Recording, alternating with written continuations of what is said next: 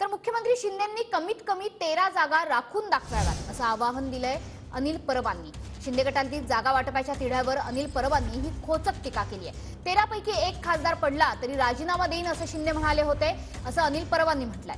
मुख्यमंत्री शिंदेंनी आता शेतीची अवजारं तयार करावीत असा खोचक टोला सुद्धा अनिल परबांनी लगावलाय यांच्यासोबत जे तेरा खासदार गेले या तेरा खासदारांना अभय दिलं होतं की तुम्हाला पुन्हा खासदार मी करणारच.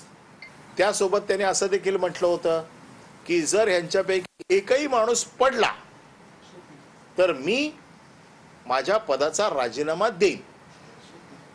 आणि मी शेती करायला जाईन. आता त्यांनी शेतीची अवजारं जरा धार काढून ठेवावीत. आमचं म्हणणं आहे असं आहे, कमीत कमी तेरा जागा तर राखा पहिल्या.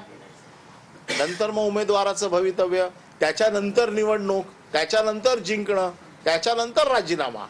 हा सिक्वेन्स आहे.